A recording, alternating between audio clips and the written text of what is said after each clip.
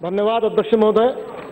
मैं आपके माध्यम से सरकार का ध्यान मेरा क्षेत्र महाराष्ट्र में भंडारा की ओर जहाँ से गंगा नदी बहती है उसके बढ़ते हुए प्रदूषण की ओर आकर्षित करना चाहता हूँ।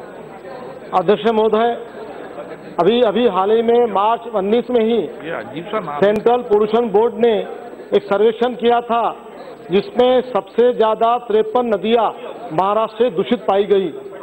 अध्यक्ष महोदय इसमें हमारा गंगा नदी भी उसमें सम्मिलित है और जहाँ नागपुर की ओर से आने वाला सीवेज वाटर रास्ते से पड़ने वाला मऊदा से एनटीपीसी से और भी इंडस्ट्रियल वेस्ट वाटर मिलके काफ़ी मात्रा में पानी प्रदूषित होता है, जिसके वजह से दूषित पानी में होने वाली इकॉर्निया जलपर्णी भी काफ़ी मात्रा में सतह पे आने से वजह से पानी में ऑक्सीजन की मात्रा भी कभी काफ़ी कमी होती है।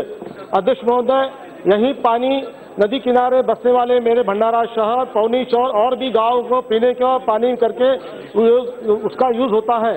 अध्यक्ष महोदय, मैं आपके माध्यम से सरकार से अनुरोध करता हूँ कि यहाँ दूषित पानी का जो ये है, दूषित करने वाला जो स्रोत है, वो कम किया जाए और यहाँ पे भारी मात्रा में जो रेती का आयवल उत्खनन होता है उसमें भी कमी लाई जाए। यही आपसे अनुरोध करता हूँ। धन्यवाद अध्यक्ष महोदय।